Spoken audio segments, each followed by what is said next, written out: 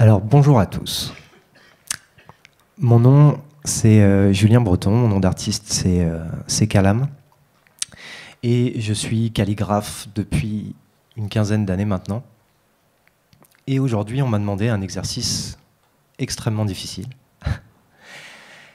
euh, que je réalise pour, du coup, pour la première fois et qui est l'idée de, de, synthétiser un petit peu toutes les, de manière artistique, un petit peu tout ce qui s'est tout ce qui a pu se dire aujourd'hui. Ça a été euh, extrêmement riche, euh, avec des interventions extrêmement euh, différentes et extrêmement complémentaires aussi. Et avant toute chose, avant de commencer à faire cette synthèse, je voudrais juste vous présenter la technique que je vais utiliser. parce que c'est une technique photographique qui existe depuis l'invention de la photographie et qu'on appelle la pose longue. Mais pour vous montrer un exemple, euh, je préfère passer par un, cas concret. Et euh, du coup, j'aurais besoin de un ou une volontaire pour venir poser dans ma photographie, s'il vous plaît. Alors, on n'a pas beaucoup d'enfants aujourd'hui. c'est un colloque sur la laïcité, c'est très sérieux.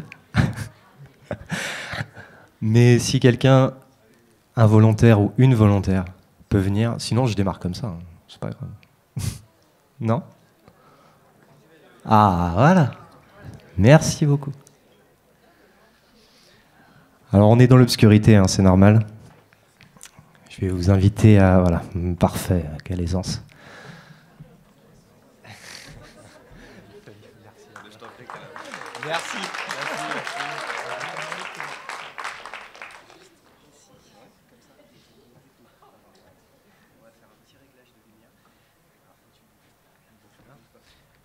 Alors, on a, euh, avec le vidéoprojecteur, on a, juste un, petit souci quant à, la couleur. Alors là, par exemple, les, traits que vous voyez derrière les traits blancs, normalement, ils sont censés être rouges.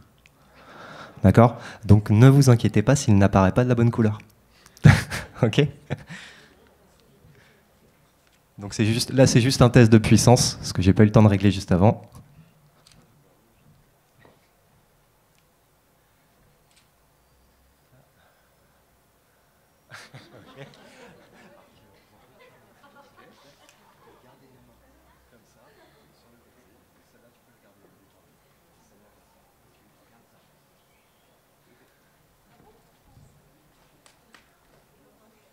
En fait, un exemple concret, c'est généralement beaucoup mieux que de longs discours. À tout de suite.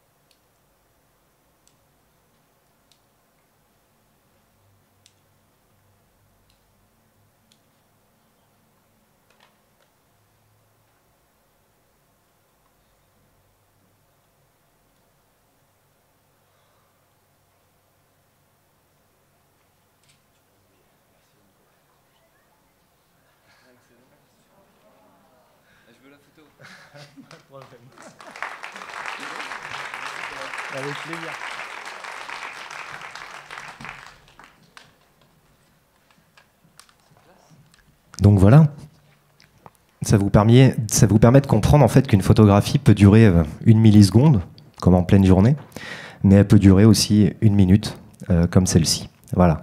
Donc ça, c'est le, le procédé que j'utilise. Alors, j'ai décidé du coup de commencer cette synthèse euh, par un mot pour lequel en fait on m'a fait venir et que du coup je vais réaliser en, calligraphie euh, arabe. Et euh, voilà, ça va servir d'introduction à cette synthèse et c'est le mot elfen qui signifie art en arabe.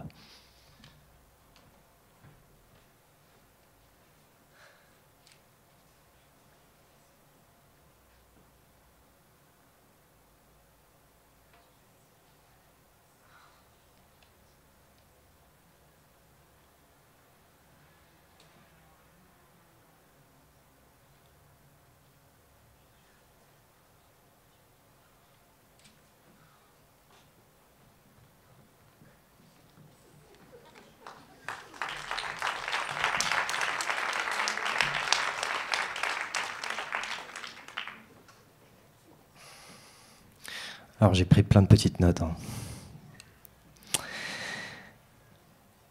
En fait, quand j'ai écouté l'intervention de, Joël Roman ce matin, je me suis dit aussi qu'il fallait pas qu'on oublie aussi quelque chose euh, dans notre euh, conception française de la laïcité.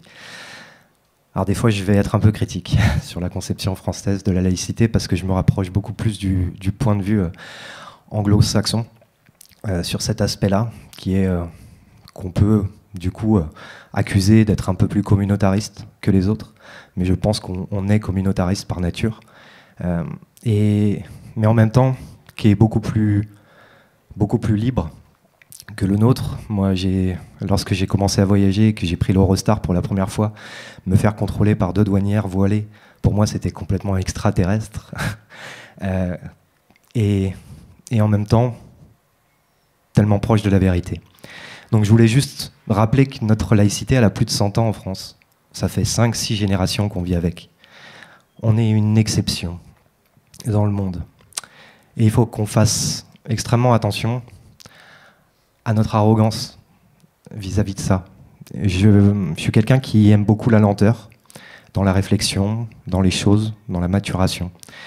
Il faut laisser aux gens les temps, le temps de mûrir toute cette réflexion que nous avons depuis 100 ans. Voilà. Et donc, du coup, je voulais commencer cette synthèse euh, par une citation de, Martin Luther King. Et cette citation, c'est Nous devons apprendre à vivre ensemble comme des frères, sinon nous allons mourir ensemble comme des idiots. Et c'est la calligraphie arabe du mot mon frère.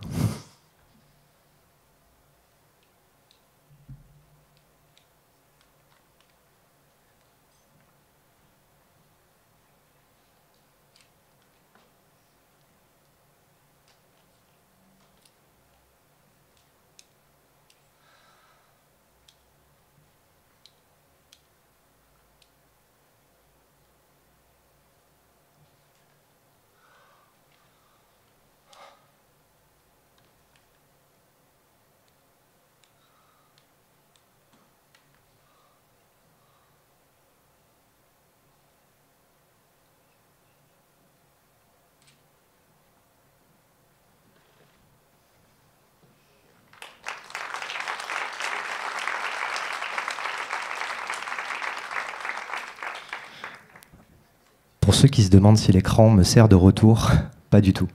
voilà. Je fais les calligraphies de mémoire, un petit peu à la manière d'un danseur. Je vais continuer. Alors je reprends mes notes.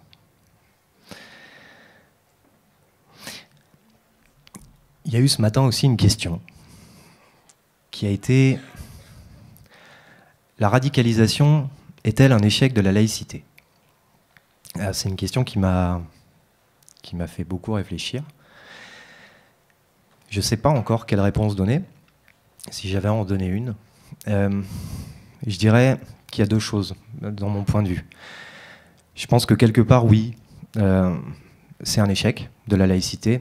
En tout cas, dans notre façon euh, d'instruire les choses et de faciliter l'intégration entre les gens. Je m'explique, euh, un jour j'étais en Belgique et on m'a expliqué que c'était un État neutre, la Belgique, que c'était pas un État laïque. Et donc en Belgique, à l'école publique, ben, il y a des cours de religion. Et les cours de religion, ben, ça permet, ça permet d'apprendre à connaître la religion de l'autre. Mais en France, on est tellement sur le principe de cette laïcité excluante, de dire non, la religion n'a rien à faire à l'école, qu'on oublie toute cette dimension-là. Et du coup, je parlais avec un, avec un, musulman de, Bruxelles qui me disait, tu vois, je parle vraiment de ceux qui ont grandi en Belgique et ceux qui ont grandi en France. Il me dit, la différence avec ceux qui ont grandi en Belgique, c'est qu'en fait, ils ont un tronc commun. Ils ont un, tronc commun dans l'enseignement théologique de l'islam. Donc, personne ne peut leur raconter n'importe quoi. Alors qu'en France, le fait qu'on ait cette peur vis-à-vis -vis de la religion, cette peur du dialogue, eh bien en fait, un adolescent entre 13 et 15 ans en, perte de repère, euh, qui euh, du coup se cherche, se, questionne, bah, plutôt que de se rattraper sur ses, sur ses fondamentaux de cours qu'il pourrait avoir à l'école, bah il va aller chercher un, un, imam extrémiste euh, d'Arabie Saoudite qui va réussir à trouver sur YouTube et s'enfermer là-dedans de par cette peur de l'échange avec le fait religieux et la religion. Voilà, ça c'était un, ça c'est un, vraiment un, point extrêmement important pour moi. Et et du coup, il y avait aussi une notion euh, sur, euh, sur cette radicalisation. Je dirais non, ce n'est pas aussi euh, un échec de la laïcité, la radicalisation. La radicalisation aussi, à un moment donné, c'est aussi une chute de, c'est aussi une erreur de nos valeurs néolibérales. Nous sommes dans un paradoxe complet. on se dit la France, pays des droits de droits de l'homme, de la liberté d'expression tout en étant un des premiers exportateurs d'armes au monde. Comment voulez-vous, vous, qu'on réussisse avec ces incohérences à, donner des valeurs cohérentes à notre jeunesse? Comment va-t-on y arriver? Voilà, ça c'est simplement une, une réflexion, c'est une question. Et du coup, je voulais enchaîner avec une calligraphie qui est la calligraphie avec mon alphabet latino-arabisant, parce que j'ai inventé un alphabet en français qui ressemble à de la calligraphie arabe pour essayer de créer un, un pont entre les deux cultures. Et ce mot, c'est le mot le sens de comment on fait les choses et le sens qu'on donne aux choses.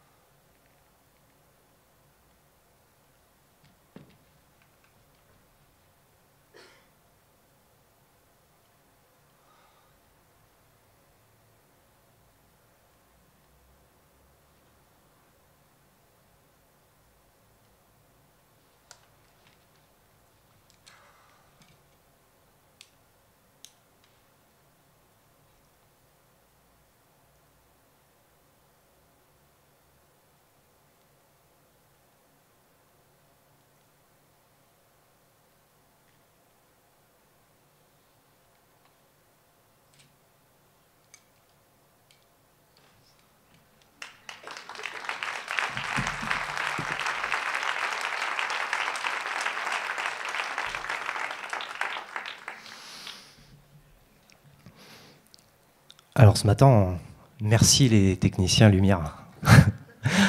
Quelle improvisation magnifique. Merci beaucoup.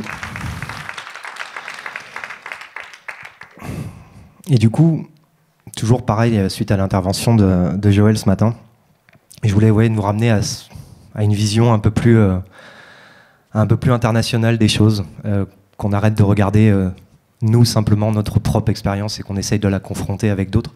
Et je voulais simplement ramener un chiffre vous donner un, vous donner un chiffre, tout simplement, euh, qui m'a toujours posé question, question parce que j'aime bien travailler aussi en, termes de proportion. Et à un moment donné, je suis athée, et je me suis posé la question de combien on était dans le monde, parce qu'on on ouvre bien grand notre bouche quand même. Euh, et je voulais savoir en fait combien on représentait dans le monde. Ben, en fait, on représente juste un tout petit peu plus de 10%. C'est pas grand chose. Et euh, il me semble que c'est un chiffre qui est important euh, à relativiser. Et là, le mot que je voudrais calligraphier maintenant, c'est le mot l'univers.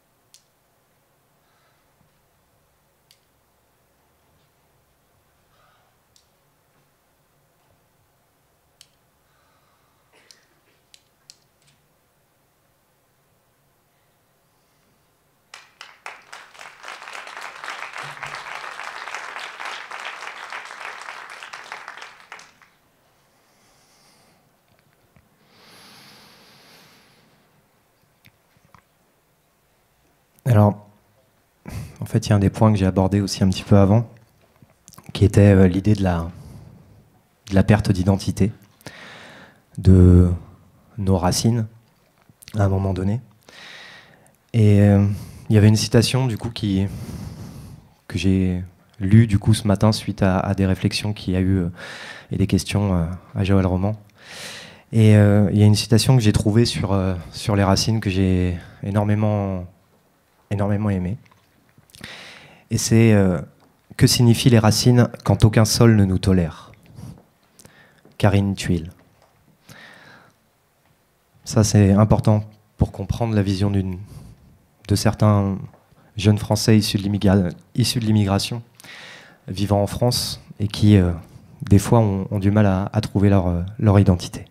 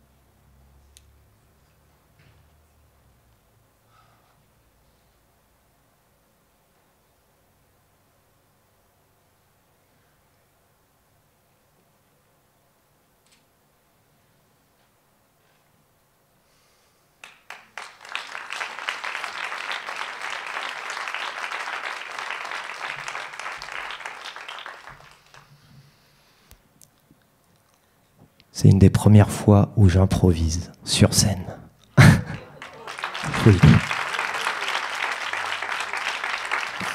D'habitude, je n'improvise jamais. Alors, il y a eu quelque chose aussi de très important euh, avec, euh, avec Faiza tout à l'heure, euh, qui a essayé de mettre en avant la discussion, de mettre en avant l'échange, de ne surtout pas avoir, euh, avoir peur à un moment donné de pouvoir échanger autour de, toutes ces problématiques. Il ne doit pas y avoir de sujet tabou. C'est quand un sujet devient tabou que ça devient dangereux. Et, euh, du coup, je voulais illustrer ça euh, avec une calligraphie en arabe du mot Louis. Et je voulais la partager un petit peu au sens de l'écoute, tout simplement.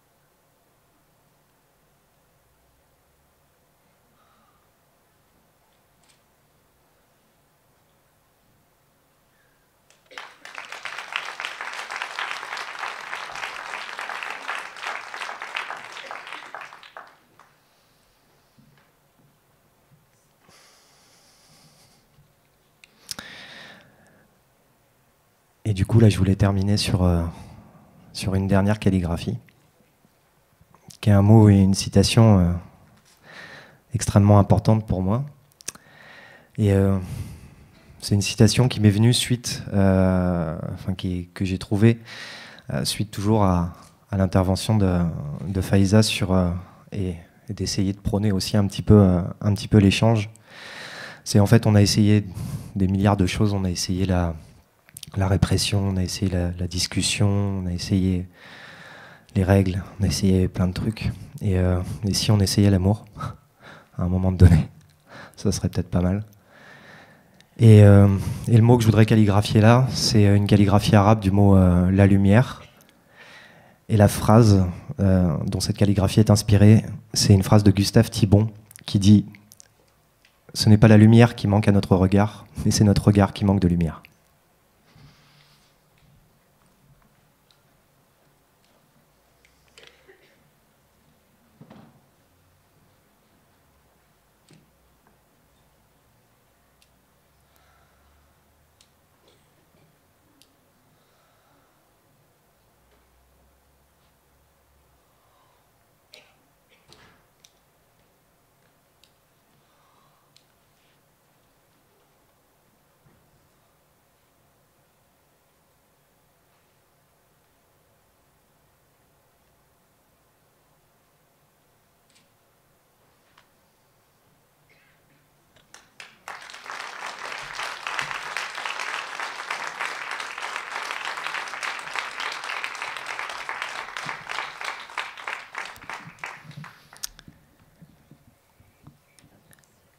Eh bien, je vais vous remercier pour votre écoute et votre attention.